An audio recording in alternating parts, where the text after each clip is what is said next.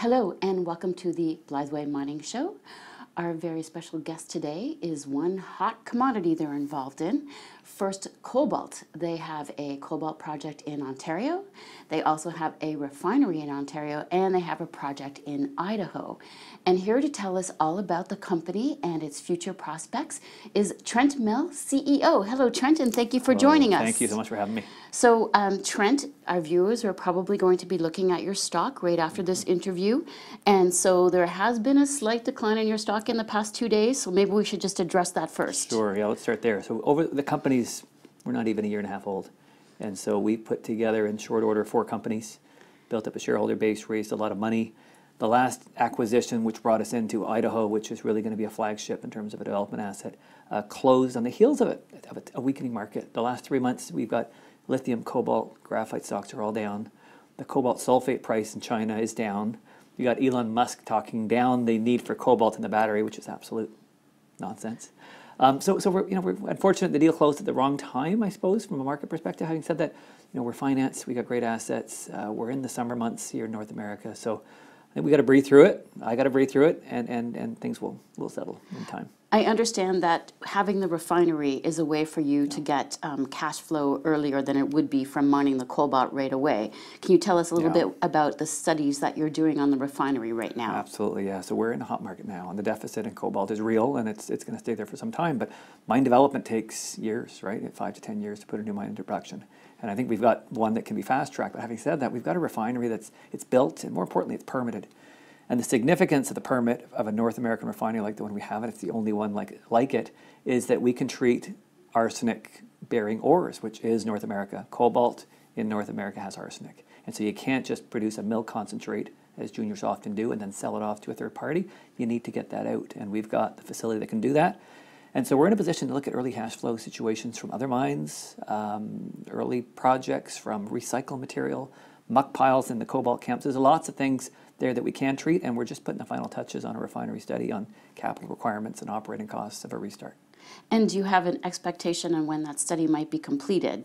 Yeah, within the next 60 days. We're close. We're Oh, close. that we've Got, yeah, we've got some drafts that we're kicking around. What we need to decide on is what is the right size of this facility at part. It, it was operating historically, had 17 years of history, uh, care and maintenance for three years. And when it last operated in 2015, it was at 24 tons a day, which is too small. So we're going to resize that 40 or 50 tons, and we're going back and forth. And we've got permitting commentary and some met work to incorporate. So we'll have that together very soon. And the capital to expand it would be, I think order of magnitude, 75 million, 85 million, and that maybe maybe up to 100 in that range. So so it's it's a it's a big amount of capital. Having said that, we've got a replacement value already of 100 million. And again, we got the permits. Anybody who wants to build this has to go through likely a multi-year permitting process because you're taking arsenic out of the ores and you're depositing that back into an autoclave tailings facility, which as a miner I'm comfortable with. We render it inert and stable. Uh, but but if you go into a community and say we're going to deposit arsenic, uh, that's tough. That's tough. So we got we got a we got a good head start. And I think once this thing is up and running again, it becomes a standalone asset that could take on feed not just from our own projects but from from North America. So it becomes really interesting. That is interesting.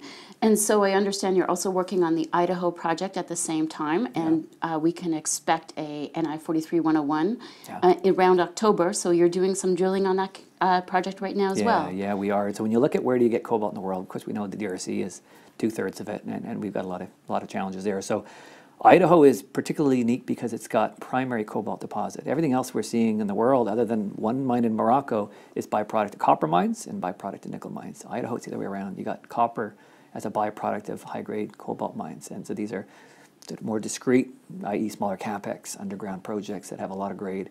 Idaho was previously worked by the Noranda Mining Company. There's a historic resource from 1980. It's got wonderful grade, wonderful ore geometry. It sits at the right angle from mining, good mining widths. So I'm really excited. And I think that historic resource, we're going to leave that in the rearview mirror, and people will like what they're going to see out of this come October of this year. Excellent. And what's happening with the Ontario Cobalt project? So Ontario, I view Ontario as order of magnitude bigger in terms of its potential from Idaho. So whereas Idaho can be fast tracked, it's on patented property, a known resource, and we've got a series of zones that we're looking at, growing strike. It's it's it's almost easy because you know the steps you got to go through to move that forward. Ontario, we're, we're looking at 50 historic camps, and, and we're looking at fif- sorry 50 historic mines in a single camp, none of which went more than 200 meters, all of which were mined for high grade material. So we're trying to do like Canadian Malartic, like Osisko did, like Detour Lake did. We're trying to look at an old underground area that was deemed exhausted 50 years ago and rejuvenate it as a high tonnage, lower grade operation, so big open pit. And we're starting to see some really interesting results at Kerr Lake. Um, these things take a lot of drill holes, so Idaho will take the lead in terms of development project. But, but keep watching Ontario. I think, I think people are going to like what comes out of there. And another question that shareholders will obviously have, or investors, because Ontario has always had to deal with the native community Yeah. kind of issues. Are you in discussions and communications with the native community? Yeah, we're not. You know, my, my experience when you, uh, as you move sort of west, you know, you get you get fewer and fewer treaties. So west and north gets a little trickier. And I, I've, I've had the uh, the opportunity to negotiate uh, impact benefit agreements with First Nations groups in Ontario and British Columbia, various um, levels of sort of complexity, if you will. Uh, where we are now, this is not. We're not in the far north, and we're not in the far west. You know, we're we're just north of Sudbury.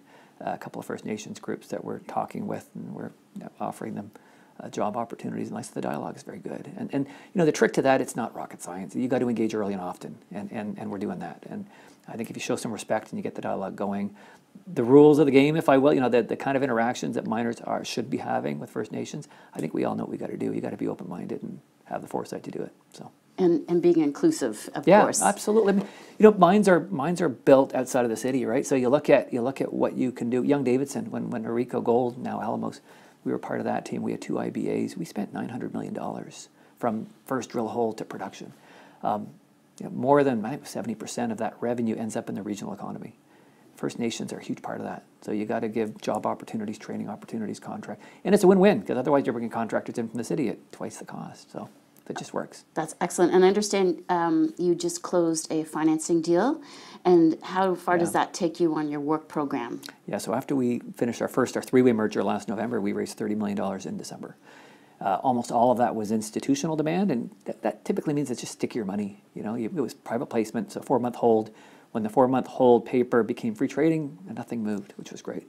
So we're down to about 25 million now, as we sit here in, in, in June. Uh, we'll invest probably about 15 of that. We've got 9 million going into Idaho. We're, we're, we're working our way through a $7 million budget in Ontario. So we'll finish the year with about $9 million December 31. So, so the, the, the downdraft we've seen in, in our space, in the EV metal space right now, um, while frustrating for me and investors, we're not going to go raise money at this level. So we're going to do our work, we'll get the stock price up, and, and we, can, we can last on our treasury for, for certainly a good year. Oh, that's great to hear. And so we have news flow coming, uh, other news flow coming ahead of the October news flow with regard to the resource statement. Yes. I assume there will be more assay results coming out for Yeah. investors to hear about. Um, progress, of course, on the cobalt refinery. Yes. um, which is very excellent. I didn't realize it was so soon. I was Yeah. thinking it would be maybe first quarter next year, but 60 days, that's, that's pretty Very great yeah. news. That would be interesting for shareholders to hear about. Well, thank you very much for joining us, Right. and uh, we look forward to reading about your news flow. Thank you, everyone, for joining us on the Blytheweigh Morning Show. Please have a profitable day.